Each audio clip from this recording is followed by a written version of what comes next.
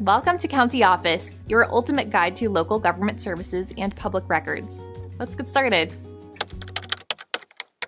Which method of water control affects the most freshwater resources? Water is vital for life, and managing it is a complex affair. When it comes to freshwater, various methods ensure its availability and quality.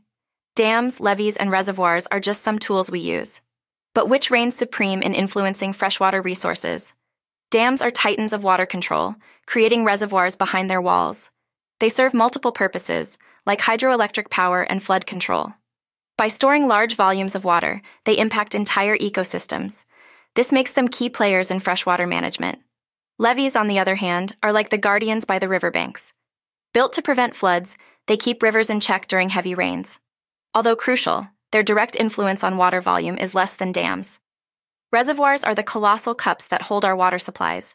They are often formed by dams and are central to water distribution. Their sheer size makes them significant in freshwater management. Groundwater management involves tapping into aquifers. This method supports agriculture and drinking supplies. It's less visible but profoundly affects freshwater availability. Now, the drum roll, please. Dams affect the most freshwater resources.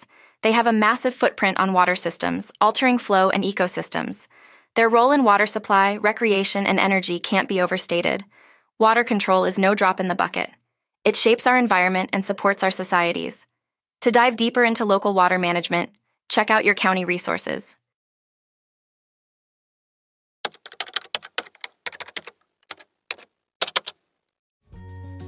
To learn more, check out these links, which you can click in the description below. And feel free to comment your questions. We're here to help.